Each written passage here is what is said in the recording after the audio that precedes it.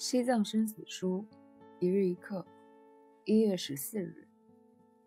心性像什么？想象心性的体性，就像空无一物，广大无边，自始清净的天空。想象心性的自信，如太阳的光明清澈，无所不在，自然显现。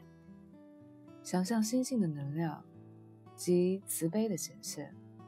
如阳光大公无私的普照万物，遍满四面八方，无可抵挡，无所不在。